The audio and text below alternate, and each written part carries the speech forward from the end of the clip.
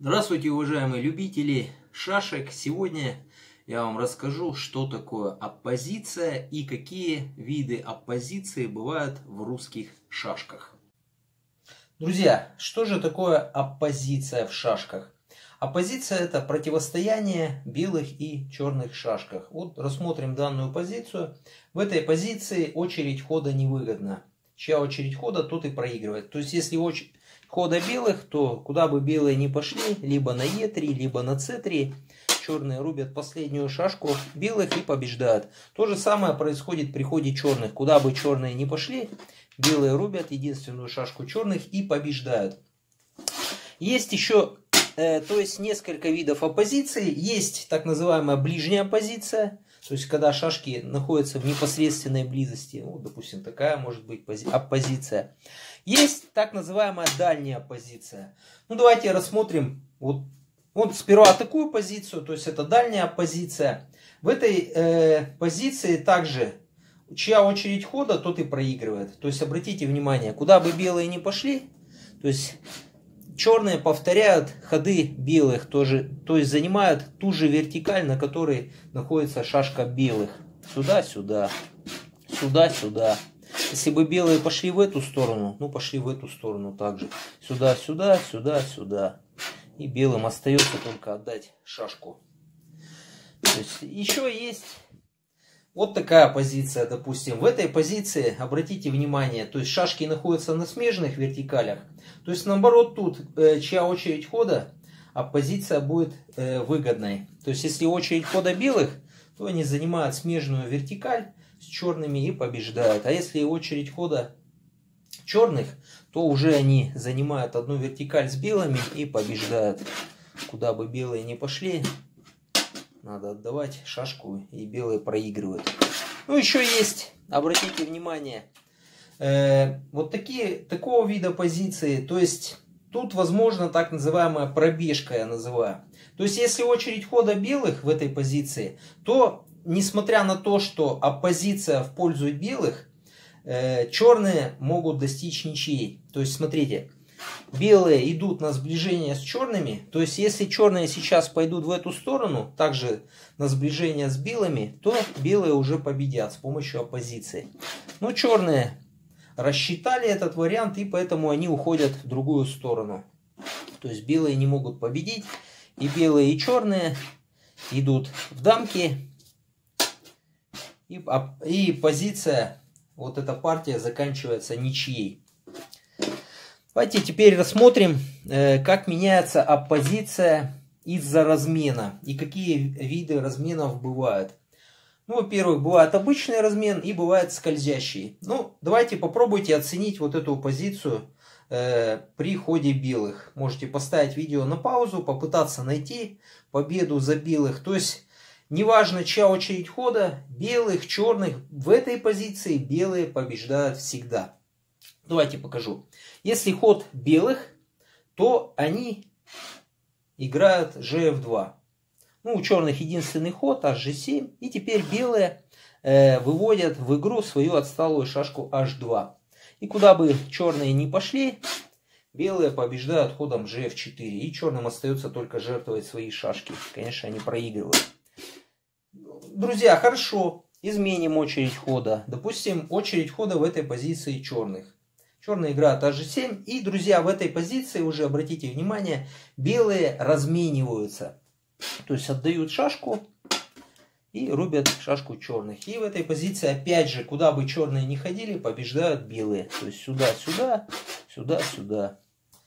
То есть сопротивление тут уже бессмысленно, можно сдаться за черных.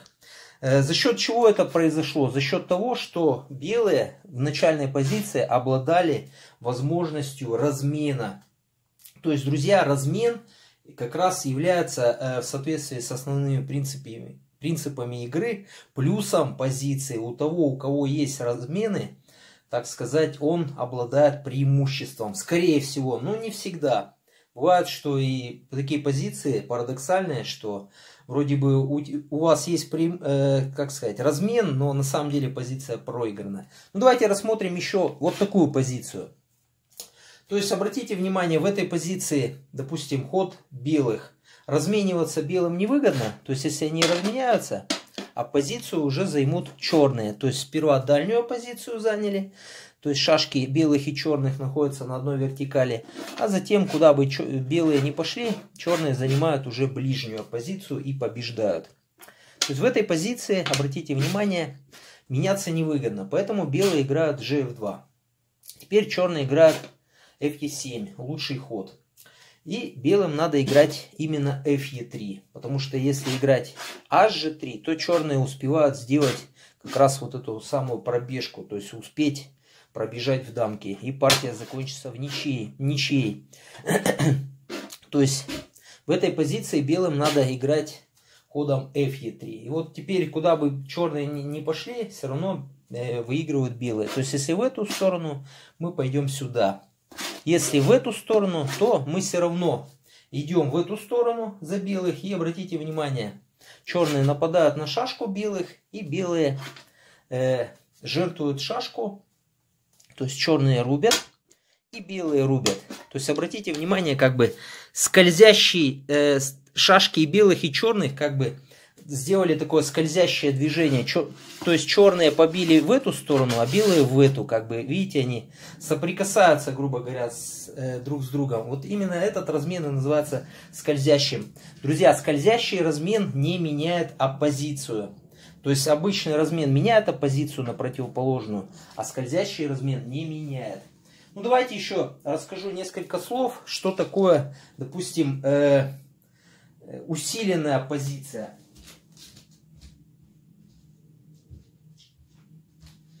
Давайте расставим следующую позицию.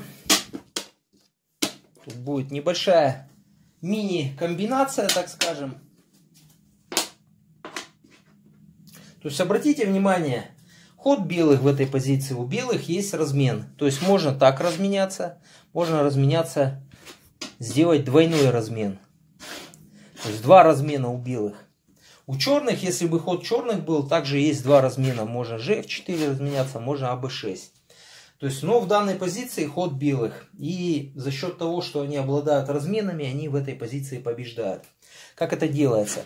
Белые жертвуют шашку, и затем отыгрывают ее. То есть отдали две шашки, побили две шашки, совершили двойной размен. И обратите внимание вот на положение этих шашек, белой и черной. То есть в этой позиции, чей бы ход ни был, все равно побеждают белые. То есть в данной позиции ход белых, ой, черных, то есть, ну им остается только сюда играть, потому что если они будут двигать эту шашку, то белые пройдут в дамки. Белые играют b7. Э, и обратите внимание, куда бы черные не пошли, все равно придется им пропустить белых в дамки. И белые выигрывают. То есть, еще раз рассмотрим эту позицию. Белые с помощью двойного размена заняли так называемую наивыгоднейшую оппозицию. То есть а представим в этой позиции, что был бы ход белых. Но все равно белые занимают, видите, э, ту же вертикаль с черными. И куда бы черные не пошли, все равно выигрывают белые. Вот такая интересная позиция. Ну давайте вам еще покажу несколько позиций. Что такое так называемая усиленная позиция. То есть в этой позиции, обратите внимание, ну белые могут, конечно, ничью сделать, пожертвовать шашку и прорваться в дамки. То есть и черные, и белые прорываются в дамки, позиция становится ничейной. Но в данном случае белые могут с помощью жертвы шашки даже выиграть. То есть белые играют fg5, черным надо уходить, белые жертвуют шашку и занимают так называемую э, усиленную позицию. Обратите внимание, куда бы черные не пошли, все равно побеждают белые. То есть, ну, в эту сторону пожертвуют, белые поставят дамку, и отрезали шашку черных. То есть пошли, побили, выиграли. А если бы черные пошли в другую сторону, то есть в этой позиции, если бы черные пошли сюда, белые просто ставят так называемый рожон. Это положение шашки на шестой, э, шашки белых на шестой горизонтали белых, а за черных, допустим, на третьей горизонтали. И куда бы э, черные не пошли, все равно не проигрывают. То есть, если жертвовать сюда, то белые занимают оппозицию. А если, допустим, отдавать в дамки, пропустить, то черные не успевают пройти в дамки, также белые побеждают. Ну, давайте еще рассмотрим одну позицию интересную. И будем на этом заканчивать сегодня. Значит, в этой позиции ход белых. Обратите внимание, что оппозиция в пользу черных. То есть, ну давайте представим, допустим, если мы пойдем сюда, то черные займут здесь оппозиция уже встала, как бы э, ближняя позиция, тут дальняя позиция и ход белых. Получается, куда бы белые не пошли, все равно побеждают черные. То есть пойдут сюда, сюда, сюда, сюда, выиграть.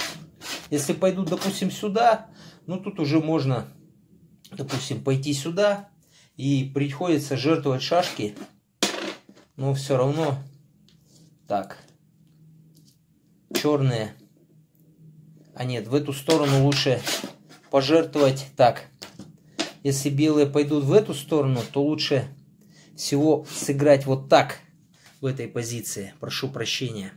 То есть, если сюда, то опять оппозиция, а если сюда, то черные уже идут в любки, то есть положение двух шашек. Вот, то есть зашли в любки, называется бери любую. Куда бы белые не играли, все равно побеждают черные. То есть так играть нельзя. Если, допустим, играть сюда или сюда, то обратите внимание, черные займут наивыгоднейшую оппозицию. То есть вот помните предыдущий пример, а здесь наоборот, с точностью наоборот. То есть пошли сюда, сюда, надо идти, и черные побеждают. То есть в этой позиции путем простого расчета понятно, что надо как-то играть неожиданно за белых. Белые играют GH2.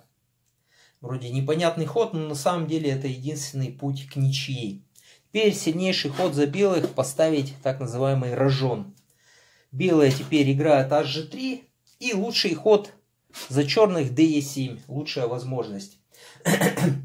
Но тем не менее в этой позиции все равно белые делают ничью. То есть делают так называемую пробежку. Играют cb4. Ну обратите внимание, если черные двинут шашку сюда, то белые уже пойдут, допустим, b5 черным приходится играть сюда, и белые успевают пройти в дамки. То есть, видите, черные не, не могут поймать.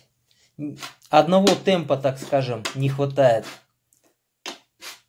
Белые успели пройти в дамки. То есть в этой позиции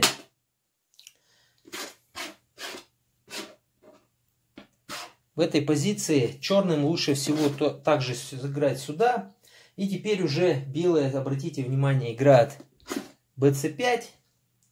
То есть э, черные ставят шашку на поле e1. На поле e1.